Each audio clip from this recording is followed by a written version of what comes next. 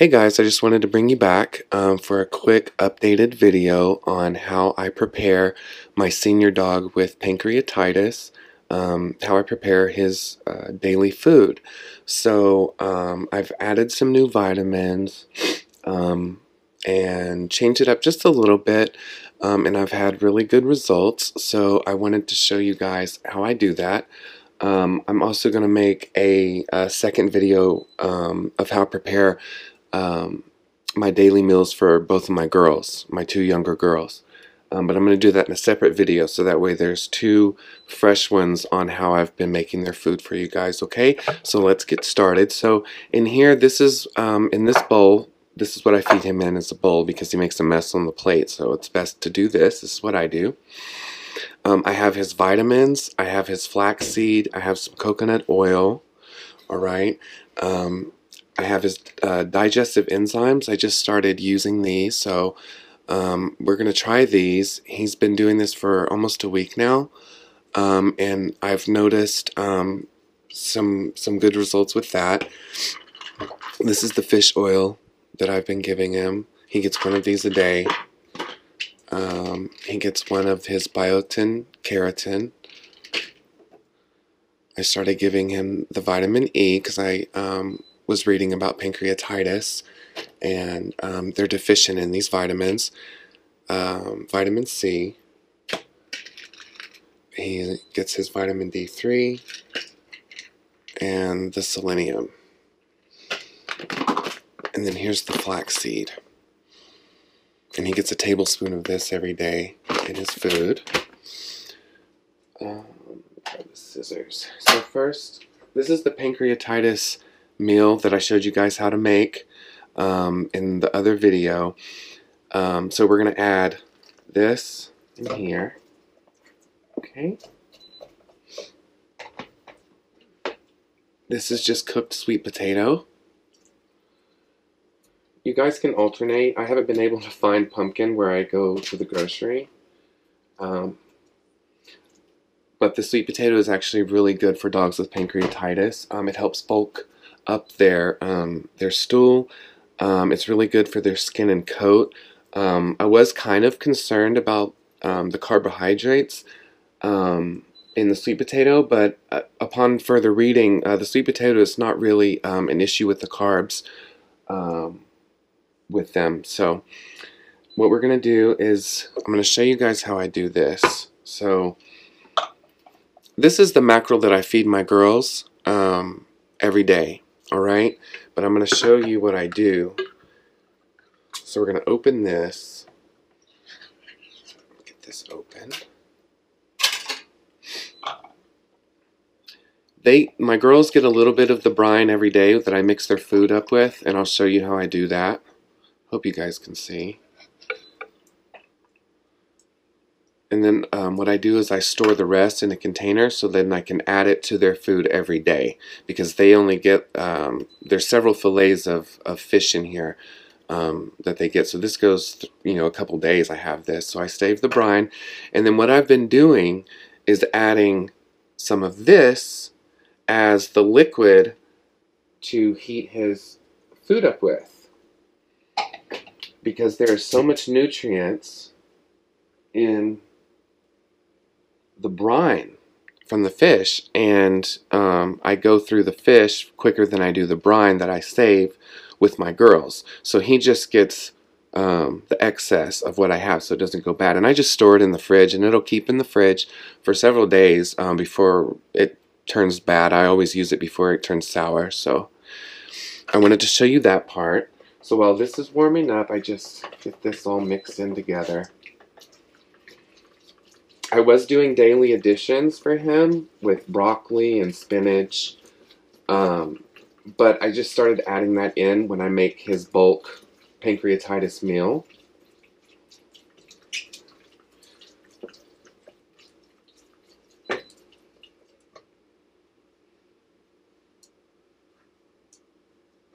So we'll get this going, and then if there's still not enough liquid, you can add just a little bit of water.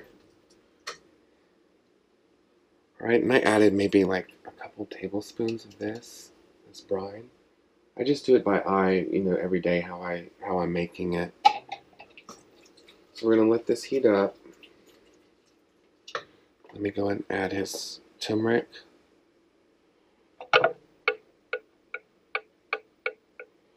Add some turmeric, which is really good for dogs with pancreatitis, especially too.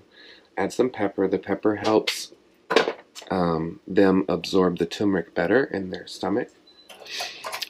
So I've been giving him two hard-boiled eggs in his meal every day too.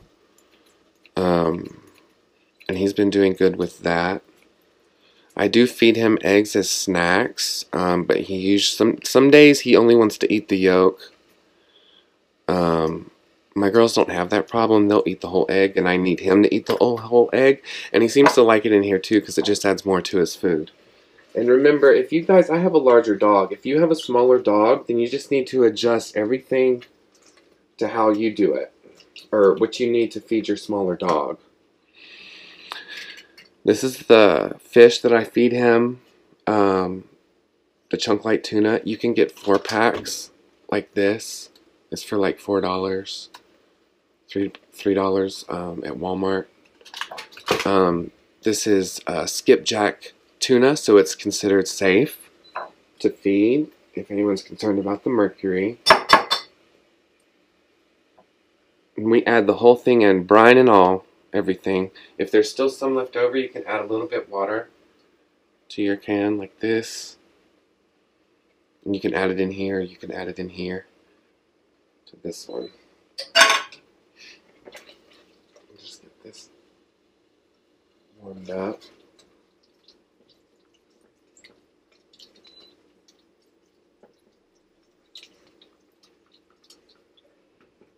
I'm going to post some links um, to some pancreatitis um, information that um, is really uh, good for you guys to read. So I'll post those when I do this video, when I upload it. So I have this stuff in here. I'm just waiting for his food to finish heating up just a little bit more. This is the coconut oil that I feed them. I use the unrefined. Um, they seem to like that, you know, because you can smell the coconut, I guess, or maybe taste it more. Um, but you can use the um, the un the refined one as well if you want. Okay, so this is just about ready. Get this out of the way. This way.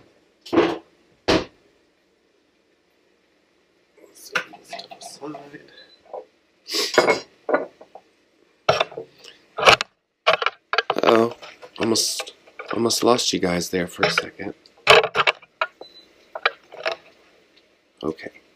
This is the sauerkraut that I feed him. I give him a couple tablespoons daily um, after his food cools down, so I'll show you.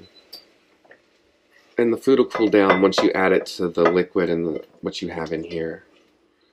So we'll get this out.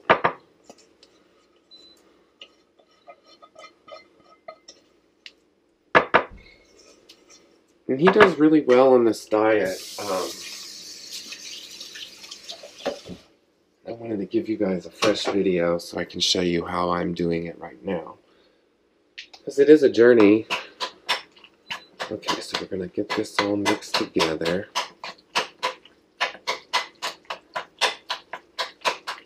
Just mix it up really good. You want to get the fish all broken up.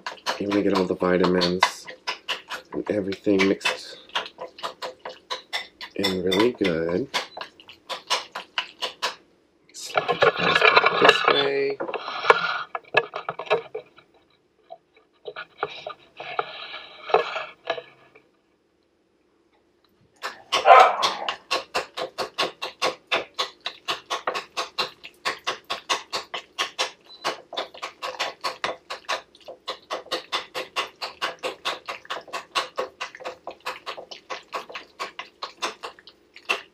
He likes this. He always drools every day before I um,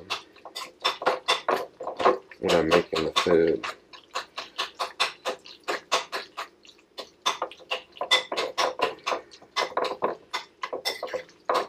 And I'll put the ingredients and everything in the description for you guys.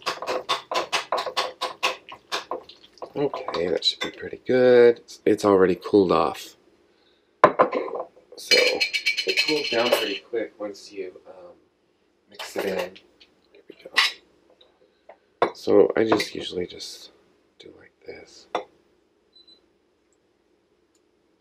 that, and then you can pour some of the liquid in if you want. It's really good um, probiotics.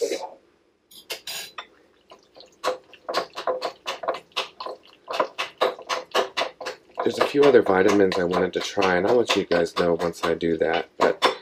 For now, everything that I showed you guys is what he gets every day. And his poop is pretty good. You can tell um, everything's being absorbed. Um, he does have casual bouts every now and then, um, and that's just you know what happens with the with the disease. Um, but since I've introduced these new vitamins, I've noticed that there's um, a big difference. I can tell that there's a lot of improvement. So I wanted to make sure and get this out to you guys.